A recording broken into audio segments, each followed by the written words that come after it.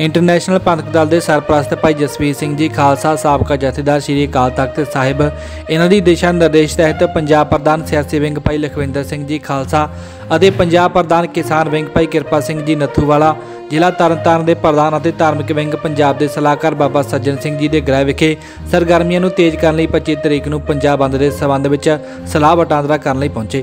ਆਈ ਸਿੰਘਾਂ ਬਾਬਾ ਸੱਜਣ ਸਿੰਘ ਜੀ ਵੱਲੋਂ ਸਰੋਪਾਉ ਦੇ ਕੇ ਸਨਮਾਨ ਕੀਤਾ ਗਿਆ। ਇਸ ਤੋਂ ਇਲਾਵਾ ਜ਼ਿਲ੍ਹਾ ਤਰਨਤਾਰਨ ਦੇ ਕਿਸਾਨ ਵਿੰਗ ਦੇ ਪ੍ਰਧਾਨ ਭਾਈ ਕਾਲ ਸਿੰਘ ਦਲੇਰੀ ਮੌਜੂਦਾ ਸਰਪੰਚ ਸਰਦਾਰ ਚਾਨਣ ਸਿੰਘ, ਵਾੜਾ ਸ਼ੇਰ ਸਿੰਘ ਸਰਦਾਰ ਗੁਰਦੇਵ ਸਿੰਘ, ਵਾੜਾ ਸ਼ੇਰ ਸਿੰਘ ਚੱਕੀ ਵਾਲੇ ਸਰਦਾਰ ਕਿਰਪਾਲ ਸਿੰਘ ਮੁੱਖ ਤੌਰ ਤੇ ਸ਼ਾਮਲ ਸਨ।